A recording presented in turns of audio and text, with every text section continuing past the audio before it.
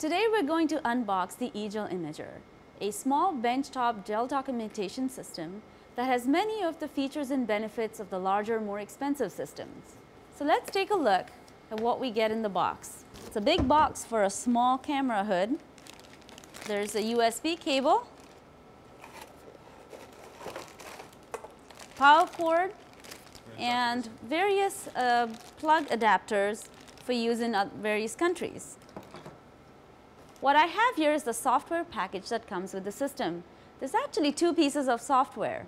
One is the image acquisition software, which takes the images, and the second is the image analysis software that allows you to quantitate individual bands in your gel. So I have two disks here. Here is the gel capture software, here is the gel quantitation software, and here's a dongle um, that gives you, that is the key that um, allows you to use the quantitation software. So let's take a closer look at the camera hood. We have the iris control here, the focus control, and then you have an adapter which is good for most gels, um, but we also sell separate um, filters for specialty gels like certain fluorescent stains or with Q dots.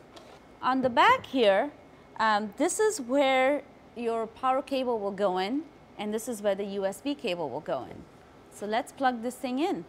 So I plug the power cable into a wall socket. I'm going to connect that here. And now I'm going to use the USB cable and um,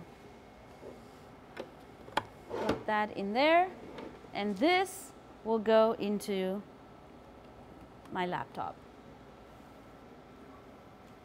Now you have a choice of three bases with the E-Gel Imager system. You can either use a UV light base, you can use a blue light base, or you can use a E-Gel adapter base. So what I have here today is the blue light base. So let's open this box. Inside I have a QRC, which again tells you what's included. Um, it tells you how to use it, very simple instructions with lots of good pictures. And finally, information on reordering. This is the blue light base.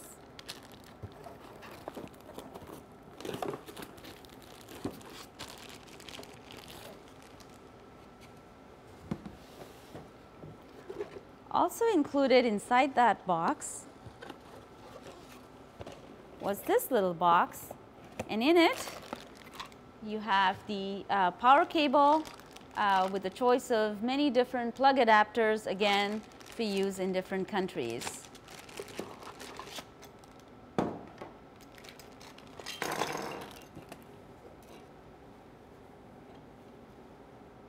Let's take a closer look at the blue light box um, that comes with the E-Gel Imager. So we have the main power switch in the front here and um, the power cord that you will use uh, will depend on what kind of gel you have. You might be using um, one of our E-Gels, uh, running it in the E-Gel iBase.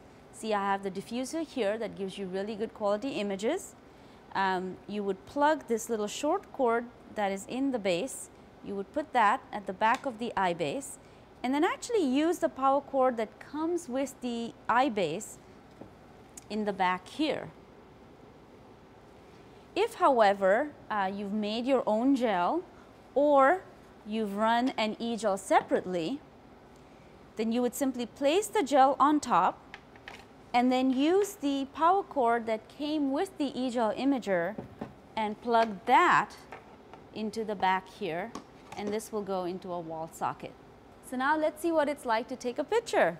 So you put your gel on the base, you put your hood on top, you turn on the power switch on the base like that, and then a second power switch here on the camera hood, and that's it. And I'm going to walk over to my computer and use the image capture software to take a picture. This is the image capture software, and here's the gel, and um, you can actually use the controls here, just like on the camera hood, for the focus and the iris. You can play with the exposure setting, you can look at sensitivity, you can play with the brightness, um, and uh, make other you know, edits to the image. You can take multiple acquisitions, um, and ultimately you can save the image, print it, or export it. Um, this button here, the analysis, allows you to get into the uh, analysis software. And that's it.